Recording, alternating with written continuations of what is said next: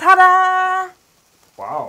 Okay, Anders, prøv at, vi er nødt til at tænke kæmpestort på den her, ikke? Mm. Fordi vi har fået til opgave, at vi skal få danskernes Grand Prix-temperatur til at stige.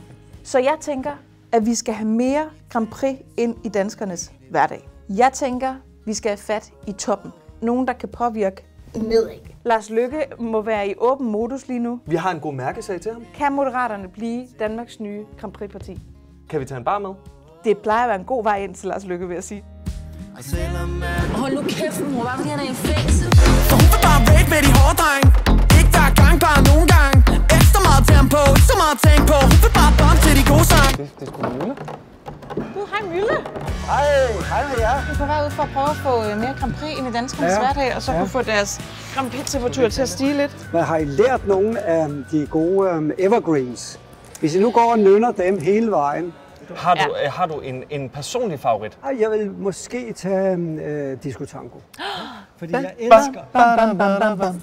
Vi skal ud og forestå det med det samme. Ja. Kom, Anders. Øh, okay. Hej LK. Hej Anders. Hej, Lars. Hej Det med var dig. faktisk dig, vi ledte efter. Er det rigtigt? Du kunne godt tænke dig at vinde valget, ikke næste gang? Træk stemmer fra højre og venstre. Samle danskerne ind mod midten. Vores overskrift, vores bud. Mere Grand Prix i hverdagen. Mere Grand Prix i hverdagen. Jeg synes, det, det lyder altså meget, meget fluffy. At, kan, Ja. kan I være lidt mere konkrete på det der? Kunne man forestille sig, at når man kom ind på arbejde, at det føles bare sådan lidt mere, som man kom ind i boksen i Herning en festlig lørdag aften? Ja. Det kan noget.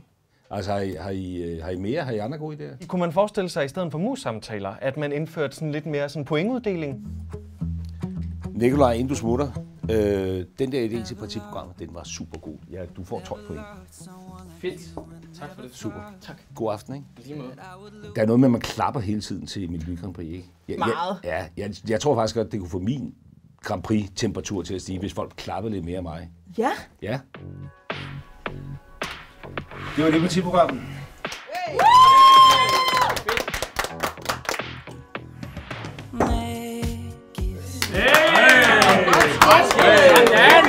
Den synes jeg, I skal notere, ikke? Ja. Og så skal vi på en eller anden måde videre. Altså, jeg forestiller mig noget øh, vindmaskiner, spotlight. I sing hallelujah, shout it to heaven. ja. Hvad kunne vi mere få ind, Lars? Og jeg tænker Brødrene Olsen. Altså Brødrene Olsen som fast inventar her på kontoret hver dag. Ja.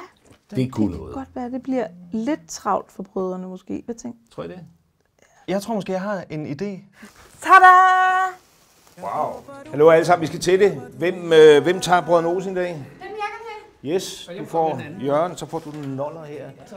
Og så er der jo altså det populære. Øh, Jakob Svejstrup, hvem tager Jakob Svejstrup? Du har den. Ej, det er fedt. Sådan.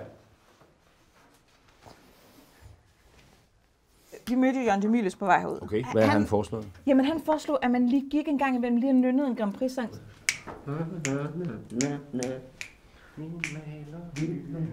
Altså det der nønneri, det er sjovt, ikke? Men tænk, hvis vi lavede Grand Prix fælles sang. Det har jeg kæmpet for i mange år. Tænk, hvis jeg kunne komme igennem med det nu. Smuk som et stjerneskud, som tiden går